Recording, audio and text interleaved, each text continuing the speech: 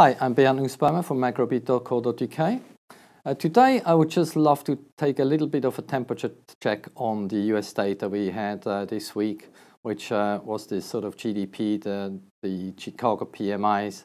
Uh, we will look at some of the Asian stock markets, in particular the Chinese, and then I have a few slides on the currency side as well. If you could go to uh, slide number one. What we see here is the, uh, the recent US GDP data that came out yesterday at 2.6%, which uh, was slightly higher than expected. We, the market expected a rate of 2.3%, came out at 2.6%. And what we later heard from the uh, Treasury Secretary Mnuchin was that actually the data was even a little bit lower due to the shutdown in the, the US government.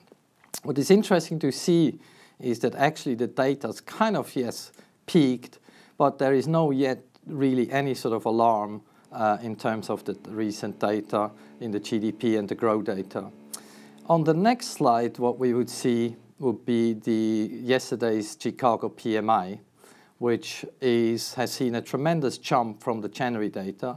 Of course, there be a little bit of give back from the low January data that could well be due to the government shutdown, but as such, you see we are right back to the sort of level we've seen earlier in the year, which is quite interesting from a point that the market continues to be more worried about a slowdown in the US, given the sort of global slowdown that we've seen across the world. But from the data that we just got in the last few days, there's definitely a different picture to the sense that the data is not yet slowing down. So the worry the Fed has might actually a bit uh, premature. Over to the next slide, where I just want to quickly show what happened in February in the sort of Chinese stock market. Obviously, with China being the sort of big worry in the global space and the sort of depressed data we have in China, the depressed equity market that we have in China. What we see here is really the optimism that sort of came into the market on the back of the trade talks with the US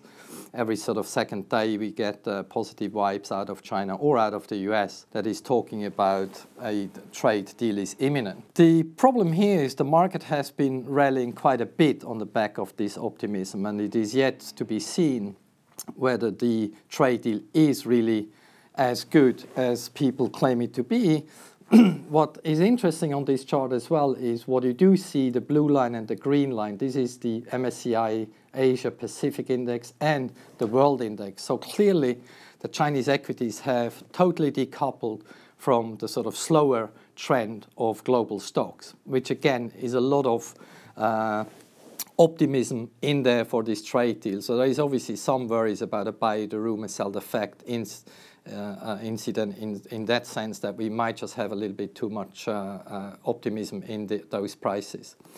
Over on the next slide, we see sterling. Sterling is obviously a animal on itself right now with all the talk in, on, the, on the Brexit. Obviously, with the latest development, it does look like the uh, no deal Brexit could be taken off the table. That is really why sterling has rallied. The market, asset managers, pension funds have been probably underweight sterling for the last two years, ever since we had the vote, which really means that now that the no deal Brexit starts to look very unlikely, it is really a case of high, how high can sterling actually rally there is still obviously next week, or actually in two weeks' time, when we have all the votes to go through. So uh, right now, to me, it looks like as if actually Mrs. May could win her deal.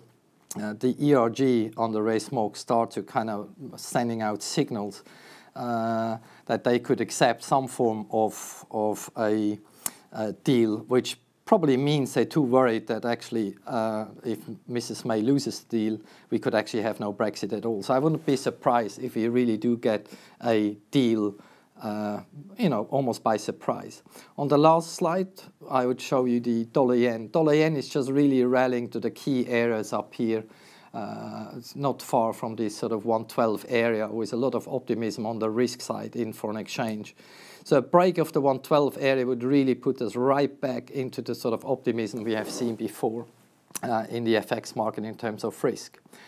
This would really be it for me for the week, and I hope you have a fantastic week and see you again next week. Thank you. Bye bye.